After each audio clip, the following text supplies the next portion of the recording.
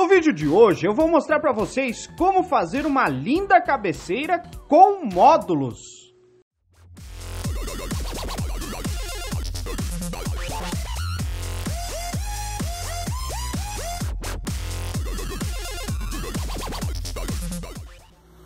Fazer a nossa cabeceira em módulos, nós vamos precisar de uma espuma. Essa espuma aqui ela tem densidade é, 23 e tem 5 centímetros de altura. Eu já comprei ela, própria casa de materiais para tapeçaria, eu já comprei ela cortada. Se você pedir lá, eles já cortam ela para você.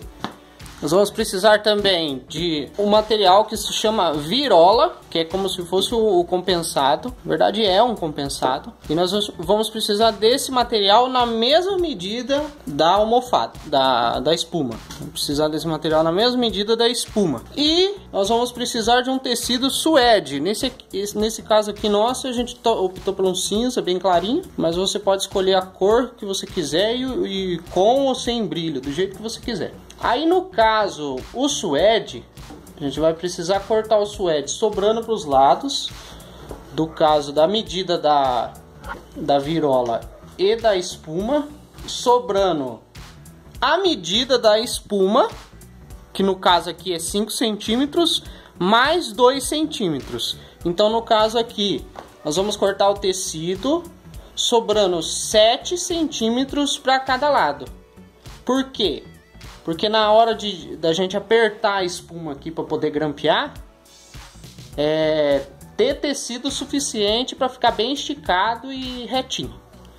Retinho não, que ele tem que fazer uma ondinha nas pontas aqui. E se você deixar pouco tecido, ele não, ele fica muito esticado, fica ruim. Se deixar muito tecido, você perde muito material. Nós vamos precisar também de uma grampeadora na internet, você, essa aqui é um pouquinho mais cara, mas na internet você acha por 25, 30 reais uma grampeadora dessa.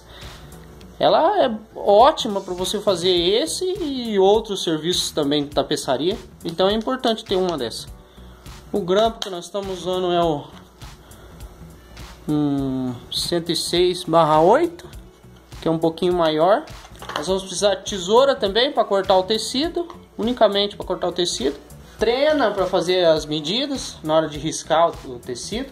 E nós vamos precisar de cola. Essa cola aqui é própria para tapeçaria. Nós vamos precisar dessa cola e eu peguei um rolinho também para poder passar na, na virola e colar a espuma. Aqui eu tentei deixar mais claro o que você tem que fazer, mas você vai ter que pausar o vídeo aí e ler. Porque senão ia ficar maior ainda esse vídeo. Esse vídeo já ficou com 20 minutos, meu Deus. Ao longo do vídeo vai ter várias dessas explicaçõezinhas.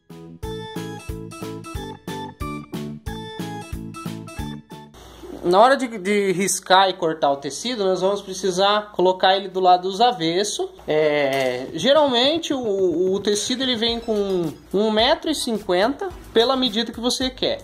Aí vai depender do tamanho da tua cabeceira. Aí quando você for comprar, você soma o espaço que você tem que deixar digamos, a cabeceira é de 2 metros. Você tem que comprar 2 metros de tecido mais as sobras do, do, tecido que a gente vai colocar na, no módulo, em cada módulo, mais as sobrinhas. No caso aqui a gente usou 7, então você vai Aqui é só um exemplo, hein, pessoal. Você pode fazer do tamanho que você quiser, da cor que você quiser, do jeito que você quiser. Geralmente um metro a mais já é o suficiente para deixar essas sobras. Na hora de, de riscar e cortar os tecidos, tenta otimizar o, o tecido para que sobre pelo menos uma tira ou um pouco mais, porque a gente vai precisar de um pouco desse pedaço de, de, de tecido para colocar na, na chapa que vai atrás dos módulos, para dar o acabamento no, nas bordas de, dessa chapa. A gente vai precisar de uma chapa grande de MDF no caso eu usei MDF, mas você pode usar a virola também. Uma chapa inteira, daí não é com os módulos, mas do mesmo tamanho dos módulos. Assim, da, da, da quantidade total de módulos.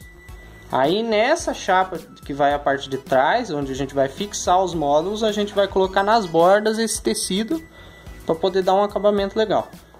Então, recapitulando, nós vamos precisar de um tecido para fazer um módulo. Vou ensinar vocês a fazer um módulo. Aí vocês vê quanto que vocês vão precisar, que tamanho vocês querem fazer, porque como é vocês que estão fazendo, vocês vão definir. No caso aqui nosso, a gente está fazendo uma cabeceira grande, que vai ocupar a parede inteira. Ela vai ficar com 3 metros.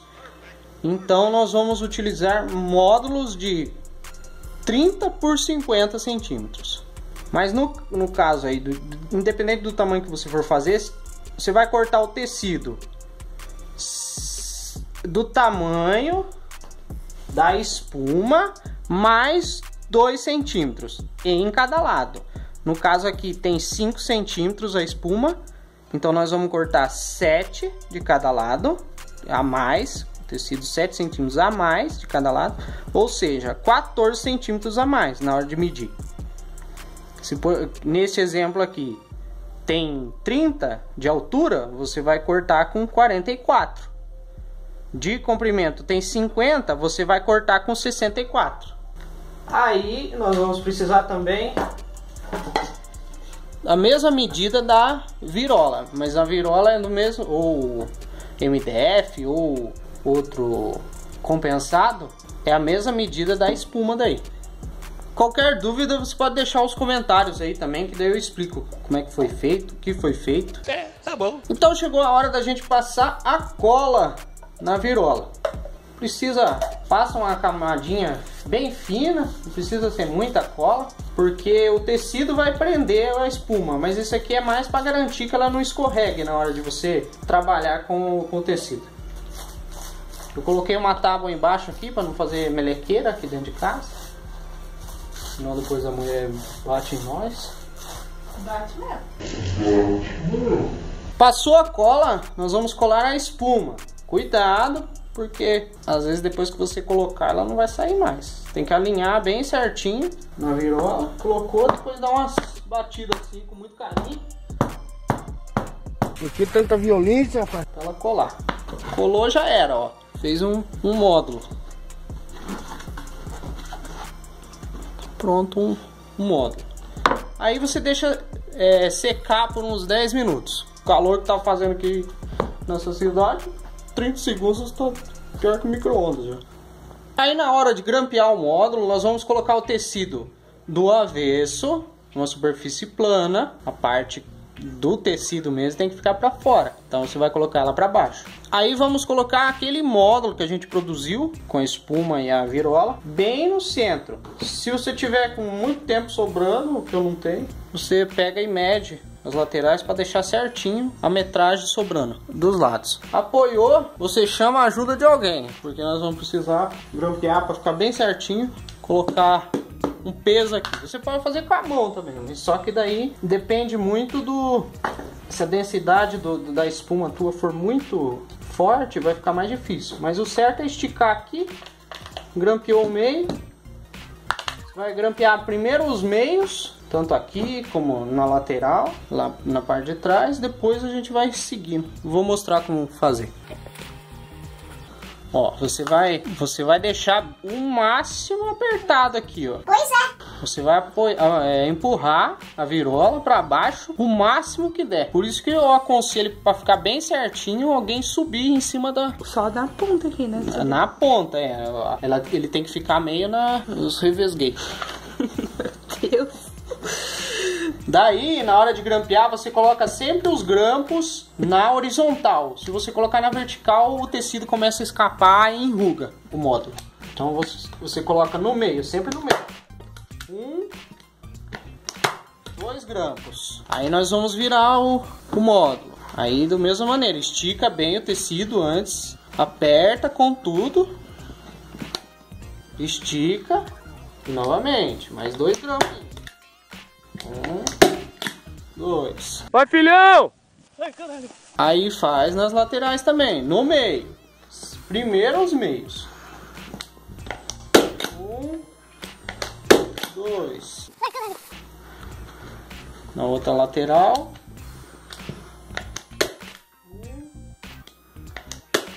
Aí agora nós vamos grampear as quinas, somente a quina. Você vai puxar, a, a, a empurrar né, a espuma para baixo e puxar a quina do tecido.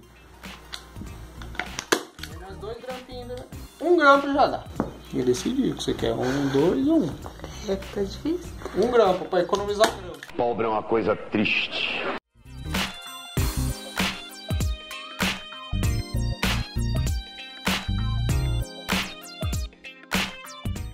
Aí, depois de, de grampear as quinas, você vai grampear toda a extensão do o restante da extensão aqui, ó. E lembre-se de, de que da própria visão de cima você consegue ver se tá torto ou não.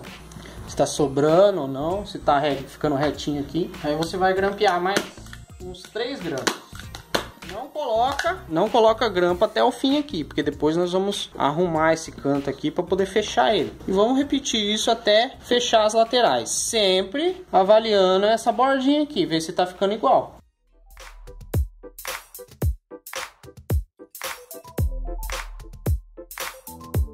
Cuidar para não grampear o dedo de quem tá te ajudando. Ó, sempre o grampo na horizontal, não faz igual eu aqui, ó. Aí nós vamos passar para o cantinho desse módulo. O que, que é? Nós vamos avaliar se precisa ou não cortar um pouquinho de tecido, mas não corta muito, só a pontinha, para poder um dobrar sobre o outro. Ó, um dobrou sobre o outro, fez essa quininha aqui, ó, mete a um, espuma sempre pressionada. É, sempre pressiona a espuma. Mete um grampão aqui, ó. Dois. Já era. Ó, o cantinho já tá pronto. Aí repete isso aí com todos os outros. Sempre que for carregar a, a grampeadeira, você quebra o grampo na metade e engatilha. Ok? Meu Deus, hoje tá muito tiozão. Aí depois de pronto, grampeado, ó, bem certinho. Aqui atrás não importa muito, porque depois nós vai parafusar na, na chapa inteira de MDF ou virola. Aí isso aqui vai sumir. O que importa é a frente aqui, ó. Ó, tá tudo redondinho, certinho.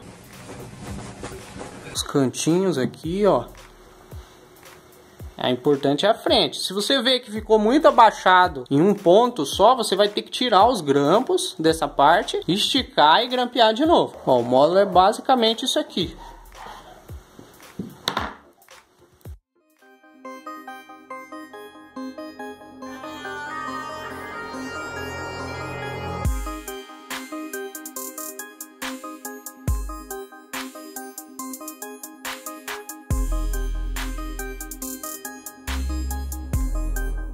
Olha só que maravilha. Tá pronto o módulo. Aí o tamanho que você for fazer aí na tua casa pode ser até quadrado se você quiser. Tem gente que faz cabeceira com, com módulos quadrados, retangular. Eu só não vi triângulo e nem elíptico.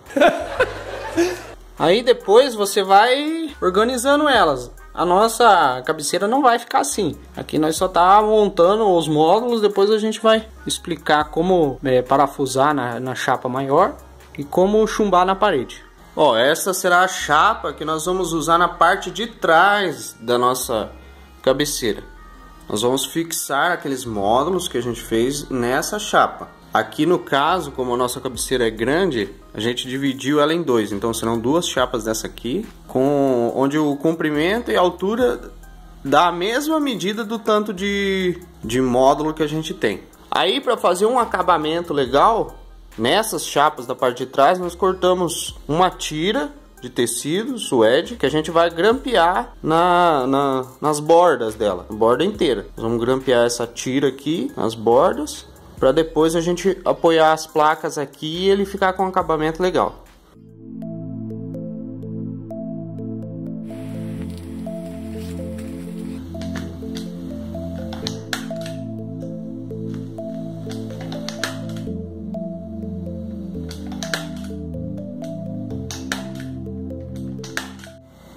Ó, daí o acabamento que a gente vai dar na chapa é esse aqui. Nas bordas. Ó, daí depois de colocar uma tira em toda a borda, ela vai ficar assim. Aí no cantinho aqui que você vai ter que tomar um pouquinho mais de cuidado na hora de colocar a tira de tecido, ela não ficar aparecendo demais, que essa parte aqui é capaz que apareça, mas de modo geral não é para aparecer, é só para dar um acabamento para quem olha de cima assim. Os módulos, na hora de parafusar os módulos, a gente vai colocar ele assim. Coloca ele aqui E daí tem que alinhar certinho aqui com a parte de trás. Nós vamos alinhar aqui as laterais, a parte de cima e parafusar por trás. Pela frente não vai parafuso nenhum. Vou mostrar parafusando um para vocês verem como é que é. Ó, daí nós vamos parafusar um mais ou menos no meio e no canto.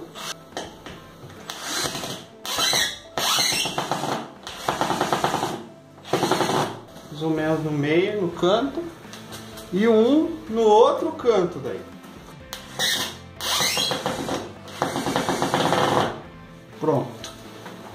Parafusado. Aí é só continuar. Seguir o mesmo nível em todos os, os blocos. Ó, depois de parafusar todos os módulos, essa, essa cabeceira vai ficar desse jeito aqui. No nosso caso aqui vai ser duas dessas. Tem que cuidar bem aqui no, na, nos encontros dela. Cuidar pra, pra alinhar tudo certinho. Daí aqui ela vai ficar assim, ó. Ó o detalhe e a importância de dar acabamento também na, na chapa de fixação. Essa parte de trás aqui. Só um pedacinho de tecido já faz toda a diferença. Ó, depois de montado, os nossos módulos ficaram dessa maneira.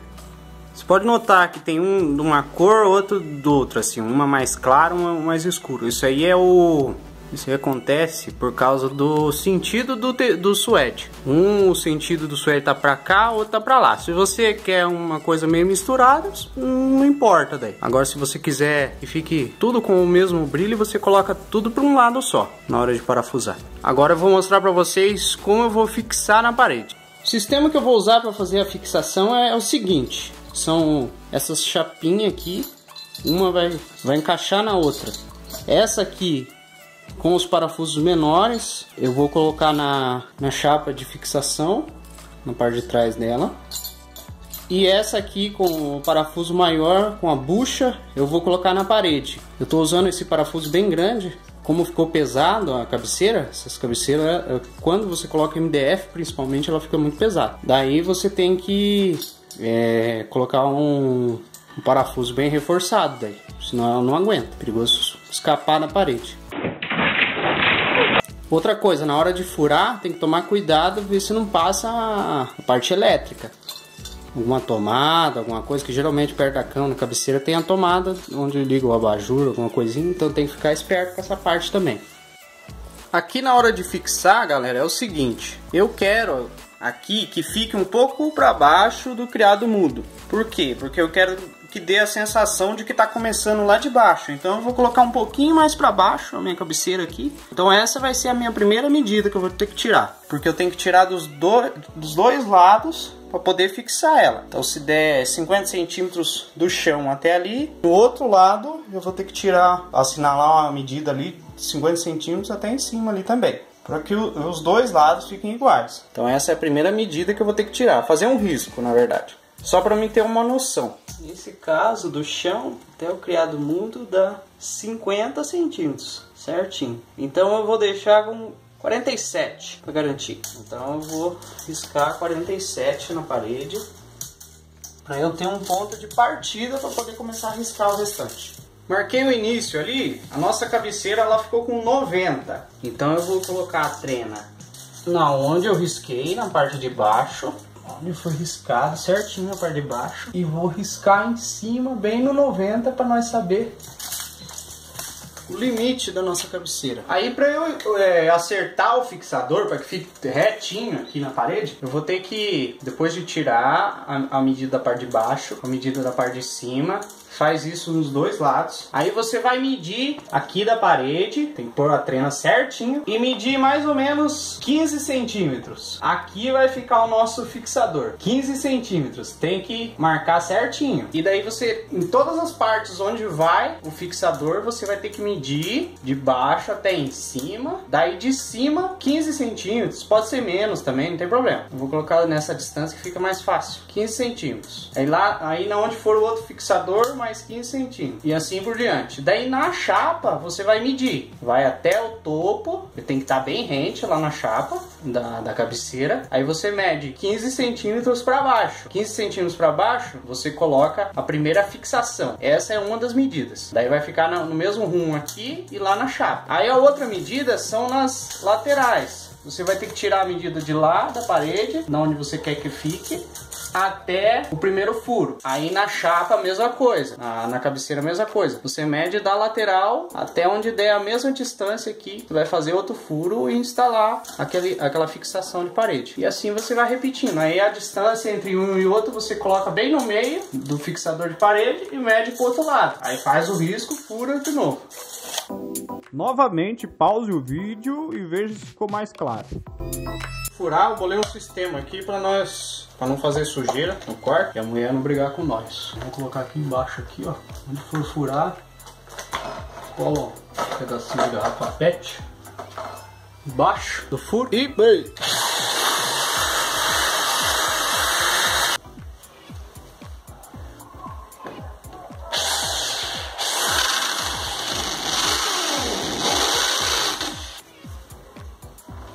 Vamos enfiar as buchinhas. Já era.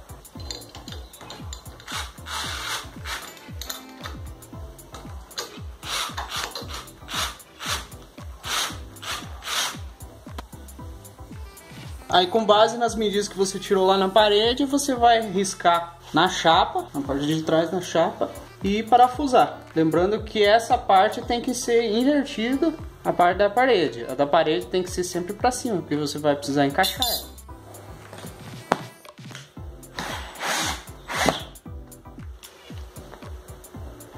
Aí depois de instalar o suporte na parede e na cabeceira, é só encaixar de cima para baixo no suporte, na cabeceira. E o resultado é esse. De fora a fora. Lembrando que aqui a gente fez uma cabeceira dupla, eu dividi ela. E na hora de furar a segunda parte, eu coloquei uns milímetros mais para cá, para direita, para poder ficar certinho, que ali é o meio, ó, e nem parece que é duas chapas.